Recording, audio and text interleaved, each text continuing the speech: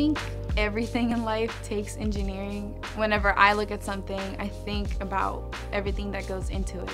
I come from a family of engineers and they've always made me feel like I can do anything. I love industrial engineering because it focuses on the human side and my professors are really good about keeping the classroom dynamic and just creating an environment where I can be focused. The whole Speed School curriculum is challenging, but I know that with the organizations I'm a part of and the activities I'm involved with, I have that support system. I'm Academic Excellence Chair and Membership Chair for NSBE, which is the National Society of Black Engineers, and that is the best support system I have on campus. They always take the stress off of me. It's good to have those organizations that really push you and encourage you and create an environment where they can make you feel like you belong at Speed School.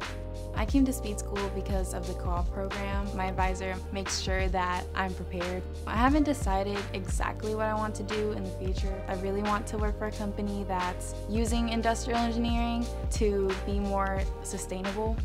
Being curious and trying to problem solve is what's going to benefit the world and that's I feel like the definition of engineering.